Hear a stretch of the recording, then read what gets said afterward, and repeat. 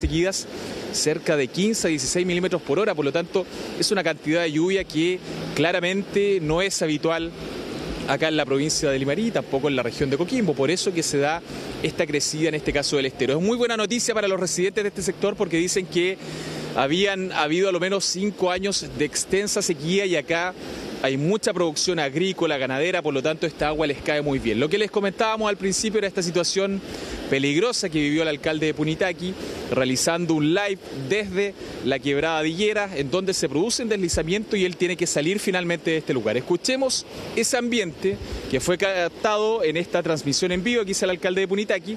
Y también nosotros hoy día lo pudimos entrevistar y le preguntamos si había sido un poco arriesgado lo que había hecho y nos respondió que la verdad él conoce bien el sector y nunca estuvo en peligro su vida, pero recomendó no hacer esta acción. Escuchemos ese ambiente y la posterior declaración del alcalde diciendo que la verdad fue una acción que no debería hacer ninguna persona. Escuchemos.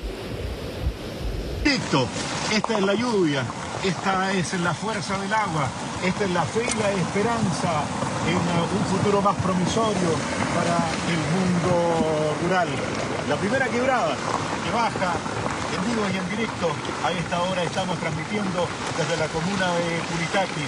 Se van a cortar algunos sectores, por eso le pedimos que tenga precaución si va a conducir, si va a salir. Se pone bastante fuerte el agua, así que hasta acá dejamos este despacho desde el sector del Rincón de Liguera en la comuna de Punitaqui.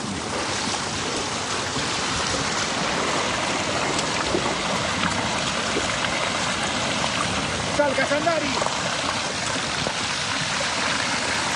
Sí, eh, es algo anecdótico y lo dije, ya di la declaración correspondiente que eh, no todo lo que brilla es oro, se vio muy impactante, nunca hubo riesgo, pero obviamente es el, eh, la recomendación cuando uno conoce la zona y, y tiene las precauciones, eh, em, no debe hacerlo, a lo mejor fue la efervescencia también de- del momento de la lluvia, pero obviamente no hay que hacer situaciones de esas eh, características. Nunca corrió riesgo su vida ahí. Jamás, jamás corrió riesgo, estábamos a la orilla, a veces las grabaciones causan algún tipo de impacto, pero eh, sirvió en todo caso esa situación para visibilizar la comuna de Punitaqui, para visibilizar la, zona y obviamente, como lo dije, eh, para que el Estado se dé cuenta que efectivamente no pueden haber badenes en, esta, en este tiempo. Eh, hay que trabajar para tener puentes, hay que trabajar para poder tener buenos caminos, Ya.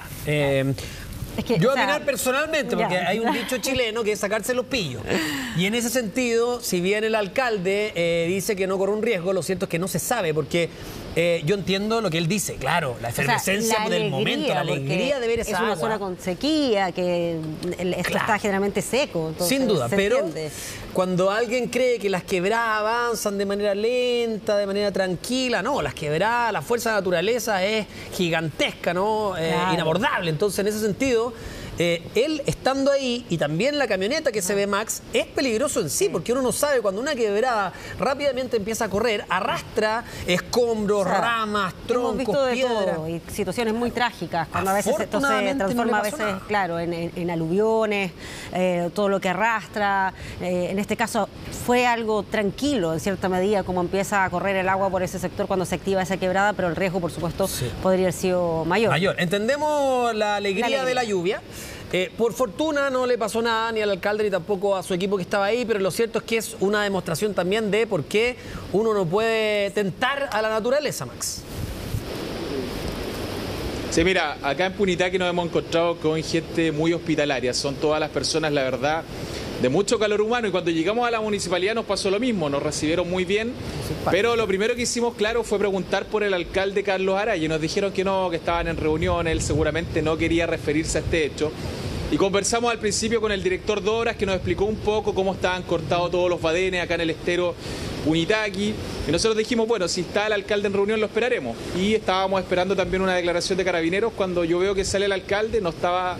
eh, se va cerca porque él estaba esperando a Carabineros y claro, yo voy y lo entrevisto con el celular y él claramente no quería porque sabía que lo íbamos a llevar a ese punto y que le íbamos a decir que había sido una acción peligrosa, arriesgada la que había hecho.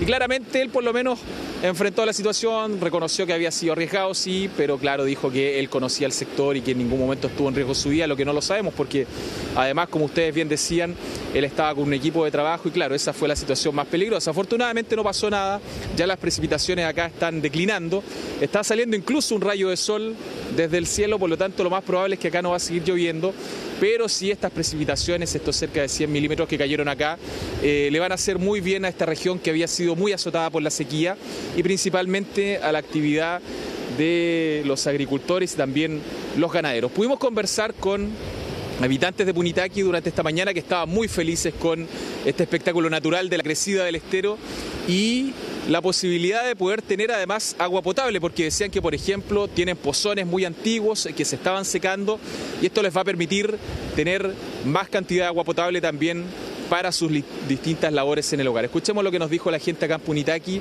que salió en masa, vino acá a ver este espectáculo de la crecida del estero de Punitaqui.